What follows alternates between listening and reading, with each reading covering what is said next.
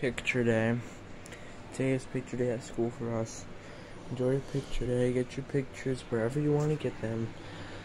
I'll be uploading this video today, right after the I have jacket on because I was just outside. And I will be after this video. Anyways, happy picture day. Get your pictures wherever you want to get them. We got our pictures at school today. And so happy picture day. Enjoying your so in your last it's Friday. It's Friday. Yep guys, I'm excited. It's happy Friday.